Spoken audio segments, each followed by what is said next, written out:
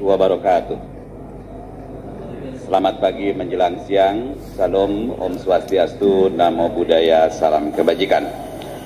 Alhamdulillahirabbil alamin wassalatu wassalamu ala asrofil anbiya'i wal mursalin sayyidina wa maulana Muhammadin wa ala alihi wa sahbihi ajmain. Yang kita muliakan, yang kita hormati bersama Menteri Agama Republik Indonesia Gus Yakut Holil Kaumas. Terima kasih atas kehadirannya saya memahami jadwal beliau sangat padat, tetapi demi keberhasilan dan kesuksesan madrasah beliau hadir bersama kita. Sahabat saya Prof. Yohanes Surya yang telah memberikan legasi yang luar biasa dan beliau ingin mengetuk tularkan ilmunya yang selama puluhan tahun beliau geluti untuk bersama-sama mengangkat harkat martabat orang Indonesia terutama dalam literasi numerik atau matematik ini menjadi bagian penting karena terakhir hasil PISA program international for International Assessment Student menunjukkan bahwa Indonesia tahun 2018 masih bertengger di ranking yang sangat jauh dari harapan kita. Ranking 74 untuk uh, 74 untuk uh, Namerik dari 79 yang disurvei.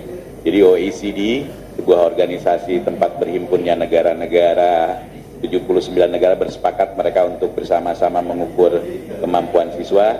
Dan terakhir hasil PISA tahun 2022 yang dirilis pada tahun 2023 menunjukkan bahwa ada angka 71 persen siswa Indonesia yang berumur 15 belum memenuhi kecukupan minimal untuk matematik. Dan pada hari ini kita berbahagia Pak Yohanes uh, Surya bersama timnya akan melakukan ikhtiar-ikhtiar untuk mengungkit demi ranking kita semakin baik.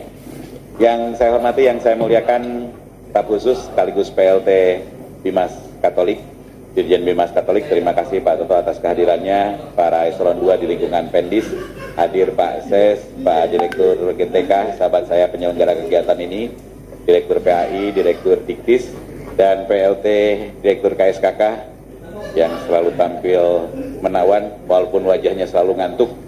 Para staf khusus dan tenaga ahli Bu Ana para Pak Kanwil yang luar biasa para kantor para kepala madrasah dan siswa-siswa madrasah yang hebat. Tepuk tangan untuk siswa-siswa madrasah kita. Mengawali sambutan ini perkenankan saya untuk mengajak bersama untuk memanjatkan puji dan syukur kehadirat ilahi Robi Ilahi Rabbuna yang pada hari ini telah memperkenankan kita semua dapat bersilaturahmi, bermuajahah dalam kerangka mengapresiasi sebuah kegiatan yang syarat makna yaitu launching program Madrasah Pandai Berhitung melalui metode gasing. Metode gasing ini saya terjemahkan dengan cara yang berbeda dengan Pak Yohanes. Saya menyebutnya nggak bikin pusing gitu aja. Ya, Selanjutnya salawat dan salam semoga senantiasa tercurah limpahkan pada junjungan kita Nabi besar Muhammad Sallallahu Alaihi Wasallam, para keluarganya, para tabi tabi dengan doa dan harapan semoga kita senantiasa istiqomah megang ajarannya hingga kelak di omil jaza, di omil kiamah kita memperoleh syafaat darinya.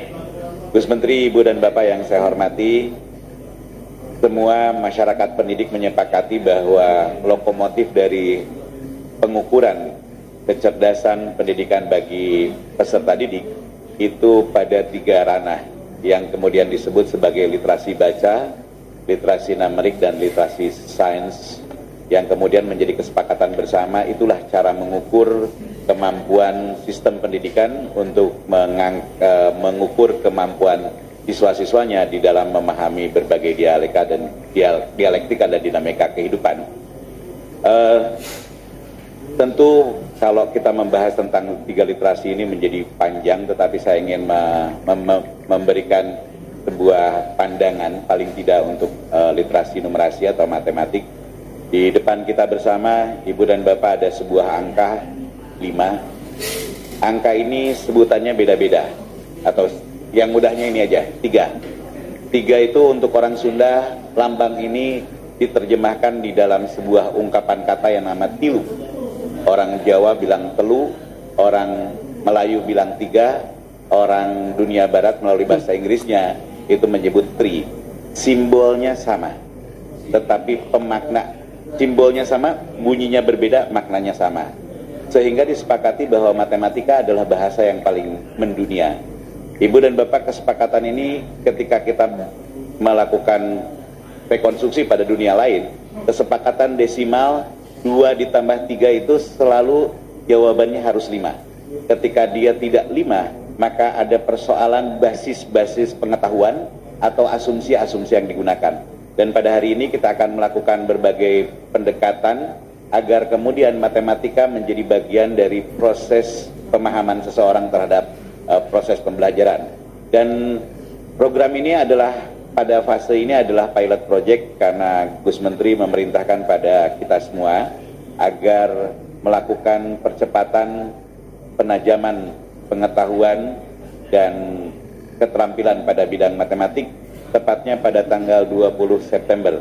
Dan alhamdulillah berkat kerja yang dalam pandangan saya eh, baik itu Pak Direktur bersama tim hebatnya bisa melaksanakan tidak lebih dari satu bulan. Tepuk tangan buat tim GTK dan selanjutnya saya mohon Gus Menteri untuk memberikan arahan pada kegiatan ini sekaligus memberikan arahan dan membuka uh, dan semoga kegiatan ini dapat berlangsung dengan baik. Tentu kita berharap Gus Menteri senantiasa berada dalam keadaan sehat dan sukses selalu. Amin amin ya Allah ya rabbal alamin. Dan Prof. Yohanes saya ucapkan terima kasih.